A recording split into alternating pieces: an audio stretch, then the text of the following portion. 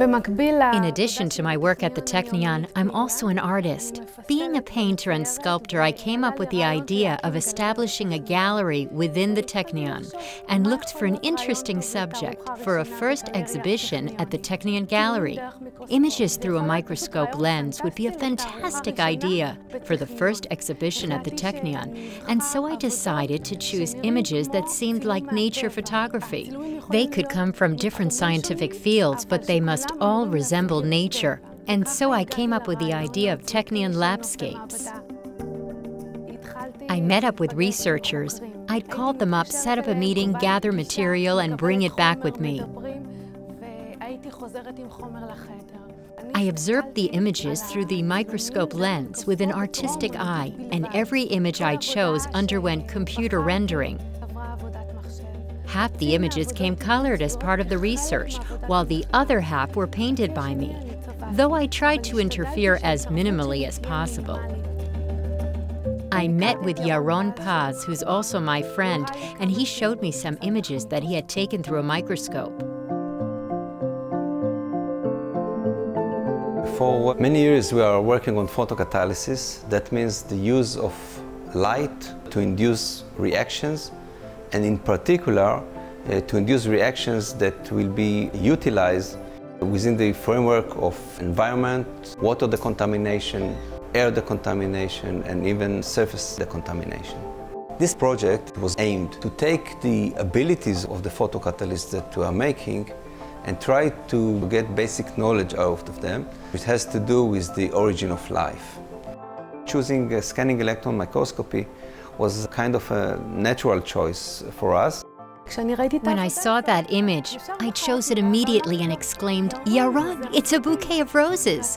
I then sat down at my computer and rendered part of it with green, the other part with pink, and that was it. It came to life.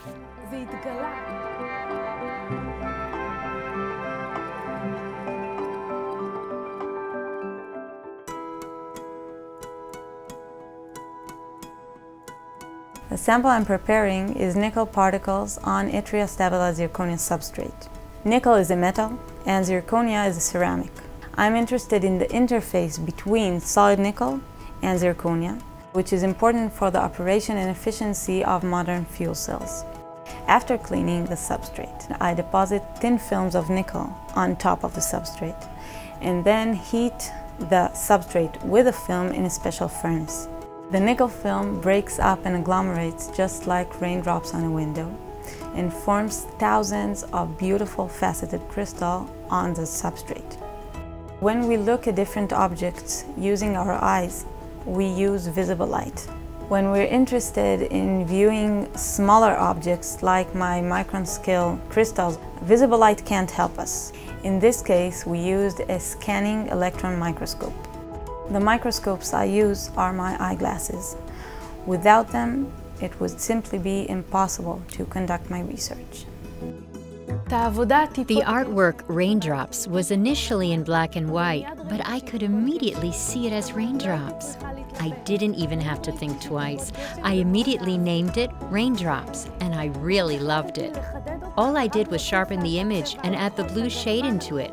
I didn't interfere with the image at all. The exhibition has a certain element of surprise. The visitors come in and see a landscape, but once they read the description, they realize that the landscape photo or the flower they're looking at is something totally different. It's an actual photo taken at a laboratory. The other element of surprise is that when you look at the image, you can't tell if it's an image of flora, fauna, or an inanimate object. You can't tell if it was taken by the Faculty of Medicine, if it's a human cardiac cell, or if it's a polymer from the Of Mechanical Engineering. It is wonderful to see how my micron scale images, which I use in my work, resembles things we all see in our daily life.